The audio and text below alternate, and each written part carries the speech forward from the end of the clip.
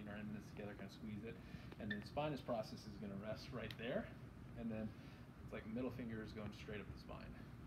So um, roll up your towel, get it set, because that's the same position. You got kind of long arms too. Yeah, give me one more. Yeah. Yeah, so I was telling these guys, like, I was so close to getting a puppy, um, and if I look so sad on Monday, you guys know that I didn't get a puppy. So we'll see. Great. All right, so same thing. Um, I bring it across. I've got a good V, and then there are my my like pumps, if you will, for my thrusting. So um, we're gonna bend the knee uh, just like we did in the previous one, and so um, I'm gonna have you roll, and then I'm going right after mid um, mid T spine. So roughly like bra line um, uh, around there, and then I'm gonna take my hand, put it flat, and then scrunch it. That's gonna be the only different one. That's gonna feel a little bit better for hands. So you bring it here, come across. I've got my uh, forearm parallel to the spine, so it's tucked. It's not way out here. It's tucked. And then I'm going to bring this down. I'm going to trap it with my xiphoid punch Christine in the face. Um, so I've got her here and it's supported. So Christine, just let me take over. So I'm supporting like CT junction here. And then this is where I do my rock.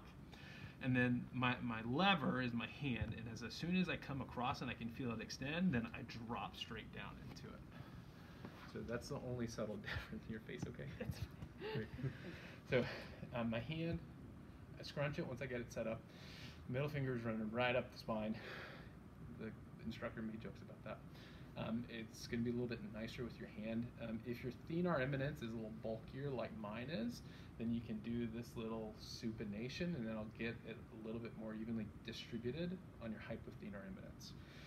When I first learned it, I accidentally popped Robin's rib out, so to speak, uh, because I was like this as opposed to supinated. So, for what it's worth. So, same thing. Um, here's going to be live. We got the setup. There's my preemptive thrusts. Christine, that's what it's gonna one? like. All right, nice. Um, uh, did that feel okay on your shoulders? Yep. Just want to make sure, like, push your cuff doesn't hurt at all. Mhm. Got it set up. I'm coming right here, roughly level the bra line.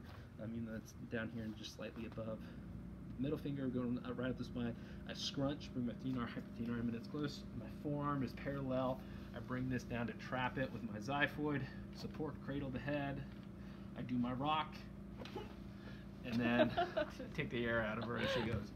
Um, and then I do my thrust. So it's still cavitated. Um, Mhm. You can add in the breathe in, breathe out if you want to. Um, I will say usually if like you're a little smoother, quicker, you're not talking it out, they're a little more relaxed, so they don't have that same so to speak. But um, You got me on the breath in. yeah, it's okay. Sometimes I keep timing. Um, but that's the move.